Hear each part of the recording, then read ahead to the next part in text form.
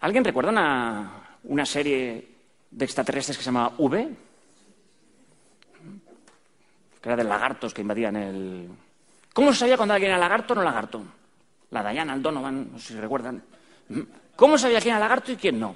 Porque por fuera aparecían todos... Cuando se comían un... Exacto, cuando se comían un, ratón. Se comían ratón decías, coño, este es de los malos.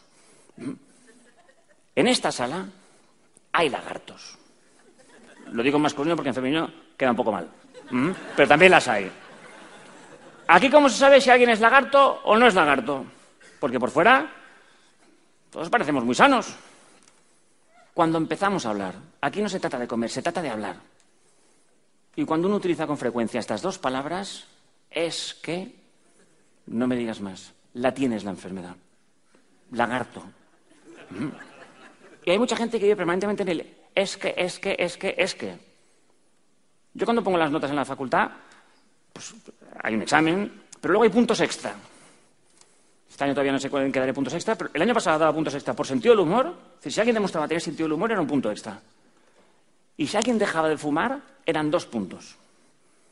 Claro, después del primer parcial la gente se apuntaba al dejar de fumar. ¿Qué día elegían mis alumnos, la mayoría de ellos, para dejar de fumar? Pues el mismo que hemos elegido los que estamos aquí si hemos dejado de fumar. El 1 de enero. El 1 de enero era el Día Nacional para dejar de fumar. Y todos mis alumnos cogían el 1 de enero. Y uno llega el 1 de enero y está aquí arriba. Sí, sí, sí, sí, sí. Lo dejo, ¿eh? Lo dejo. Me fumé cinco paquetes ayer por la noche y arranco. Que la fuerza me acompañe. Pero claro, luego es duro. También hay muchos emprendedores que dicen, sí, sí, sí, sí, sí, sí, me monto, me monto, me monto. Me despido y me monto. Pero luego llega el día. Claro, el 1 de enero a las 11 de la mañana empieza la cabeza. Es que a mí no fumar me pone de mal humor, ¿eh? Me cambia el carácter. Es que a mí fumar me relaja. Es que fumar es un placer.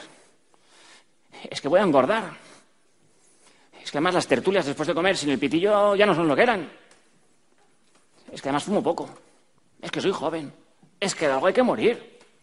Es que para dos días que se vive, ¡pum! Y uno junta excusas y al final llega, tira la toalla y dice, pues claro que sí, a la mierda, tal pitillo, hombre.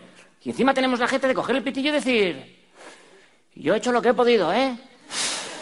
Y más. Pero claro, es que, es que, es que. Y uno tiene razón en los esques, por supuesto que tiene razón. Porque es verdad que el café con leche nunca vuelve a ser igual. Es verdad que uno se pone de mal humor. Es verdad que fumar es un placer. Es verdad que engorda. Pero ¿cuál es el resultado final? Fracasado. Y luego hay otro que es un crack. Porque también hay alumnas o alumnos que son cracks. Que también están aquí el 1 de enero, ¿eh? Que también dicen, yo me fumé cinco paquetes y ahora sí que arranco de verdad. Y cuando empiezan las tentaciones, es que el café con leche. Pues se acaba el café con leche. Me he pasado al té. Es que a mí me pone de mal humor. Pues que me aguanten. Que será un par de meses. Llevo años aguantándolos yo. Es, es que a mí las tertulias después de. ¿Pero qué tertulias?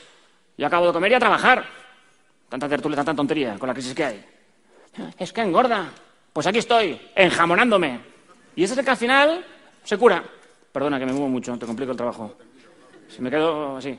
Sí, sí, tira, tira.